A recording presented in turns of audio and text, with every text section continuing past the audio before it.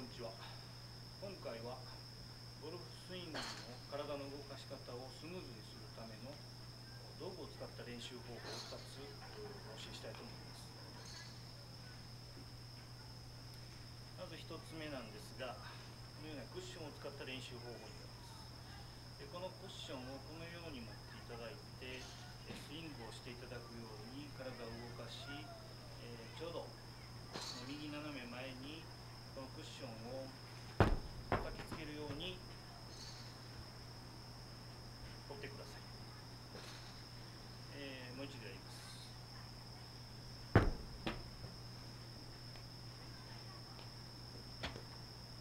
この練習方法によって、えー、スイング中の何が良くなるかと言いますと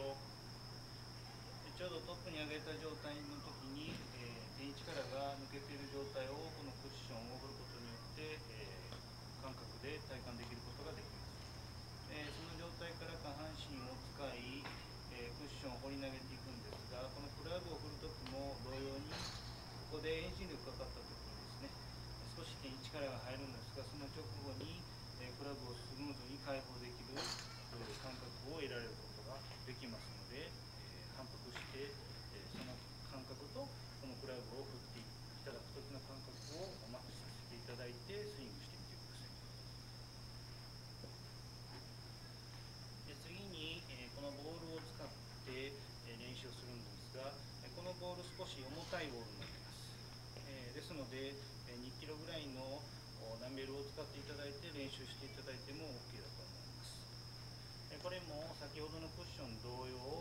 えー、同じようにスイングしていただくのですが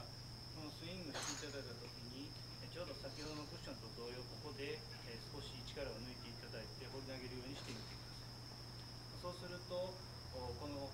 えー、先ほどと違うところとしてはこのボールが重いのでここで、え一気に目標方向に、え重さで出ていくような形になります。それがちょうどクラブがえスピードが出て、え走り出したのを体感できるっていうふうになりますのと同時に、えちょうどあの持っていかれる時に、えバランスを保つ練習にもなりますので、えこの練習も反復して、えやっていただくとスイングがスムーズになりますので一度試していただきます、えー、今回でステップアップドリルは終了とさせていただくのですが、えー、今まで、えー、説明させていただいたスイングの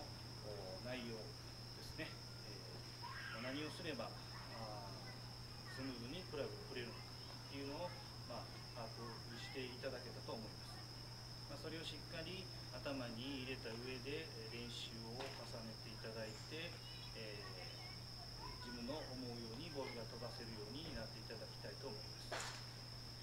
えー、まあ、しかしながらあ人によっては道具が自分に合ってないとかですね、えー、スムーズに触れない原因が様々あると思うんですが、まあ、そういう時はあ私のような、え